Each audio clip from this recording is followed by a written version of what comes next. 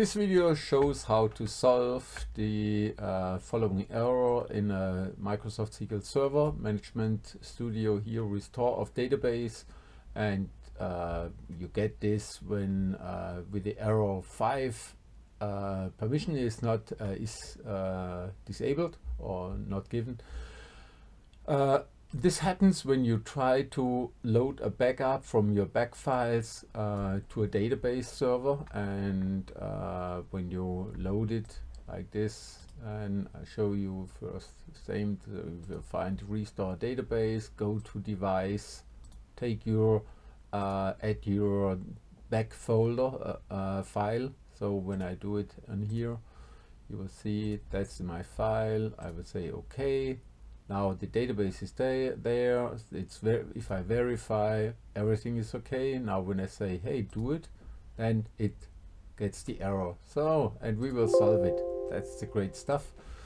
Uh, what we have to do is when we try to get one so we will say restore the database. And now uh, uh, select the backup file. Select this one um, go there and add that file. So this is now uh, on files. Uh, it's on the C drive. Uh, I previously I had it on a different folder. So I you take that uh, file. In this case, it's uh, kodoku.com or zero.com. Uh, when we select it and then go there, now you will see here that's the that's the device where it's coming from or the folder where it's coming from uh, and here in files you will see there is some there are some settings. And these set settings are let's see wrong. Yep that's that's wrong. That's the original path and this is the restore path.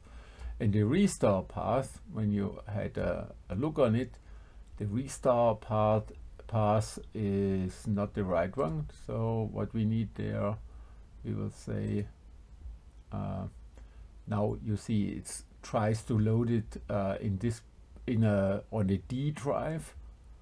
If you have this problem uh, I would suggest take the C drive the original file uh, drive. I don't know why that's uh, really the point but it is and now go go you to your real folder. So this is uh, my I try to get a SQL Server folder and I call the folder data.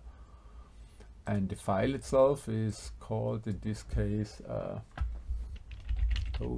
doku underscore com dot mdf that's the file. And this one so and I also changed this one. You see also there's the file the folder wrong. Uh, da, da, da, we also take take it by selection but the other one is also is better. Not the D drive. Take the C drive. There's a still a problem there. Oh come on. So here we have it. Then say that's my LDF LDF for log files now we have the target folder uh, the right one. Uh, did I take this one? Relocate? No no I didn't take it. So there's uh, another folder in there. No that's everything. Okay so we change this one now to the new target. We say okay and yeah that's it.